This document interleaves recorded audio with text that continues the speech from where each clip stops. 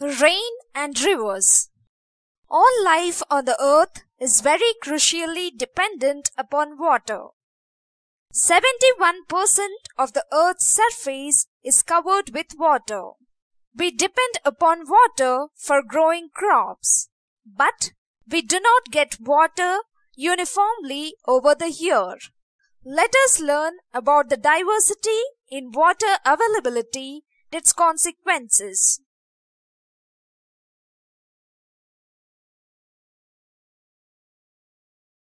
The story of rain begins with the water vapor when we heat the water.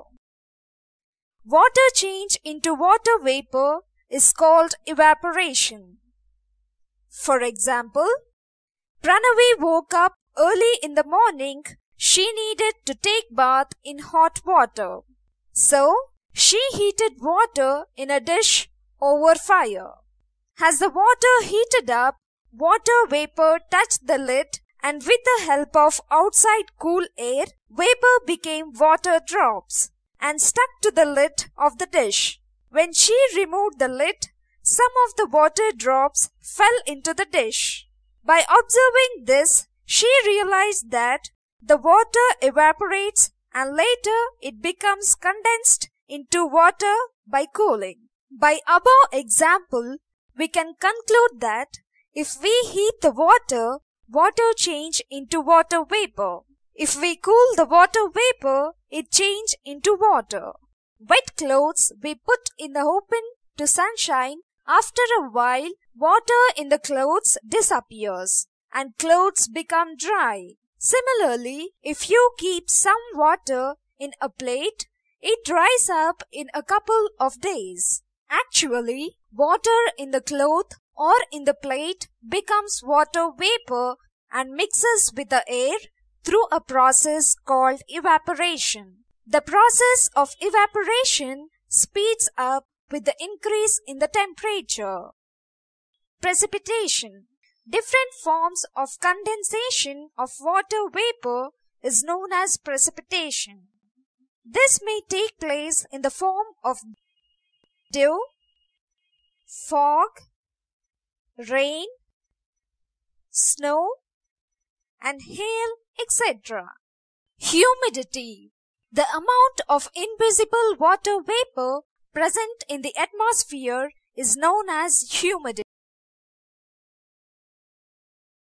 Winds and clouds.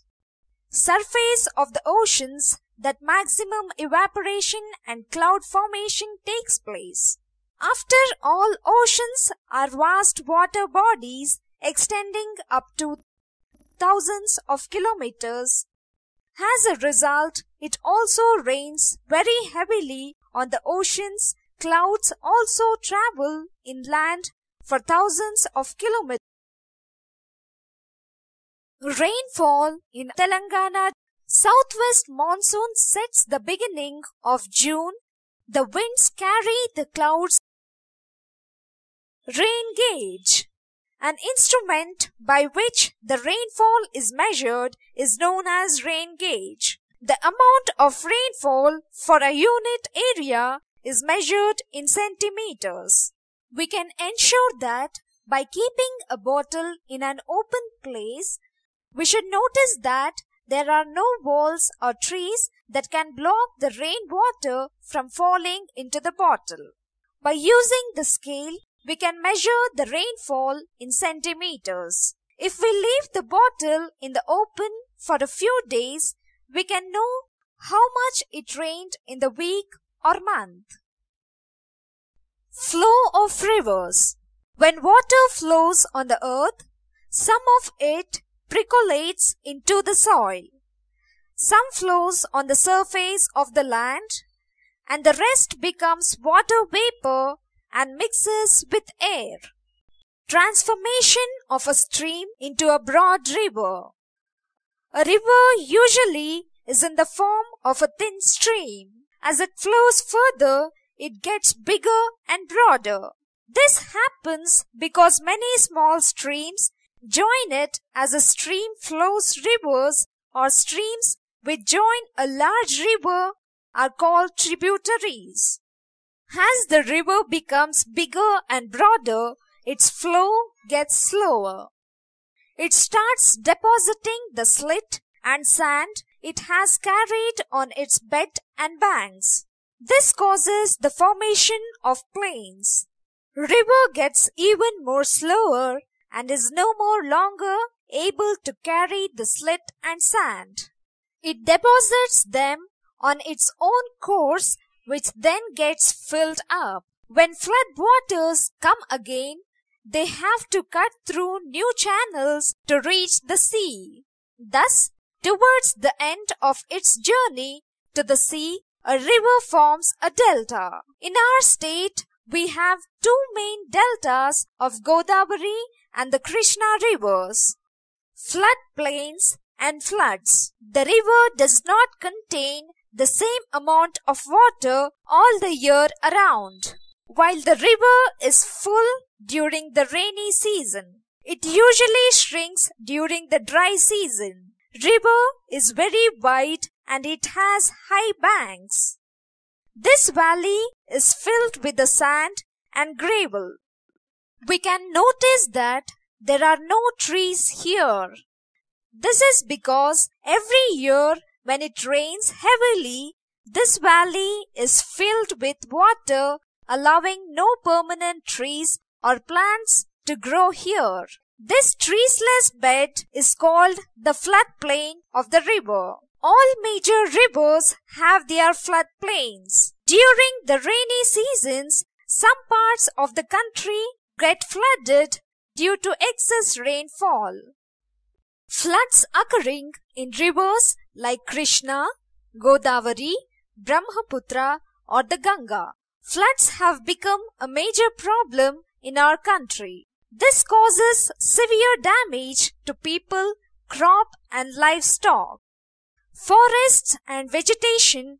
Vegetation reduces the erosion of soil by rainwater. If there is little or no vegetation, rainwater cuts and carries with it a lot of topsoil. This soil is deposited on the river bed which reduces the depth of the river. Vegetation allows the water to flow slowly into the river, thus preventing sudden flooding. When forests are cut down, facing the challenge in cyclone and floods. Andhra Pradesh has a long coastal line and is frequently facing with very destructive cyclones. When heavy winds blow from the sea, heavy rains lash the lands and heavy waves make the sea very unsafe. These usually occur between How can people meet the challenges of disasters like cyclones and floods? Through long-term planning by government and close cooperation between the people and the government agencies. Installation of early warning system by the government providing for long if you need to evacuate. Pack clothing, essential medication, valuables, personal papers, etc. in waterproof bags to be taken to the safe shelter. Raise furniture, clothing, appliances on the beds or tables. Turn off power. Whether you leave or stay, put